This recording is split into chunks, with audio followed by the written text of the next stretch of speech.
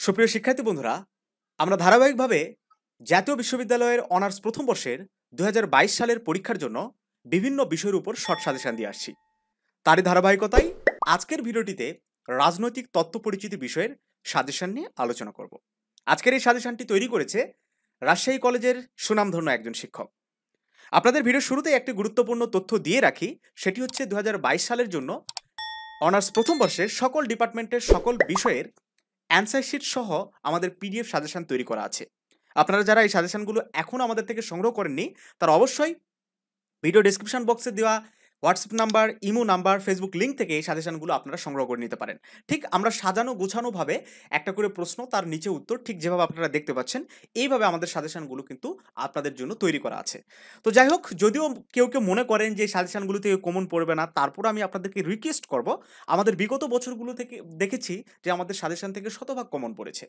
এই জন্য রিকোয়েস্ট করব যে আপনারা মনে করবেন যে টাকাটা দিয়ে আমাদের এই সাজেশনটা কিনছেন সেটা আপনার লস এটা মনে করে সাজেশনগুলো কিনেন। আশা করি পরীক্ষার হলে বুঝতে পারবেন যে সাজেশনগুলো কতটা ইফেক্টিভ ছিল। আর সাজেশনের দাম বলতে একেবারে একটা রিজনেবল প্রাইস রাখছি। অবশ্যই সেটা আমাদের সাথে যোগাযোগ করে আপনাদের নিতে হবে। আর যারা আমাদের সাজেশনগুলো পারচেস করবেন, তাদেরকে আমাদের একটা প্রাইভেট গ্রুপে অ্যাড করে নেওয়া হবে। যে গ্রুপটির মাধ্যমে পরীক্ষা শেষ না হওয়া পর্যন্ত আপনারা সাপোর্ট পাবেন আর কি তো দেখতে পাচ্ছেন, রাজনৈতিক তথ্য পরিচিতি বিষয়ের প্রথম অধ্যায়, রাষ্ট্রবিজ্ঞান। তো রাষ্ট্রবিজ্ঞানের জনককে, পলিত শব্দের অর্থ কী? এই অধ্যায় থেকে আমরা দুটি সংক্ষিপ্ত প্রশ্ন রেখেছি। মানে ক বিভাগের জন্য।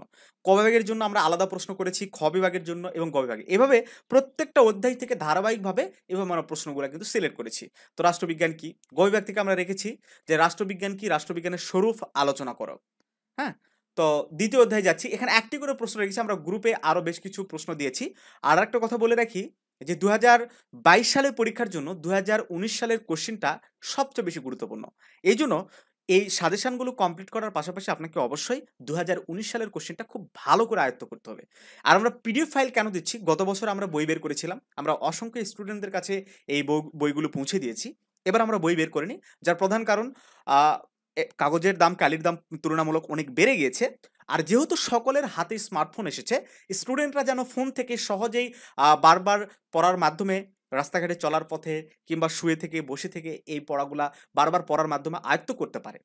এটা তো আর ক্লাস ওয়ান টু এর কোনো পড়া নয় যে আপনি মুখস্থ করে নিলেন। আপনি এখন উপরের ক্লাসে উঠছেন, জিনিসগুলো মুখস্থ বিদ্যার উপর ডিপেন্ডেবল না হয়ে আপনার জিনিসগুলো ভালো করে বোঝেন, বারবার পড়েন, তাহলে আপনার একবারে মেমোরি হয়ে যাবে। পরীক্ষার হলে আপনার নিজের ভাষা এবং যা পড়লেন সেই ভাষায় মিলাই লিখলেই একটা ভালো রেজাল্ট হবে বলে আমি আশা করি। দ্বিতীয় অধ্যায় ছিল রাষ্ট্র। রাষ্ট্র কোন ধরনের প্রতিষ্ঠান? সরকারের অঙ্গসমূহ।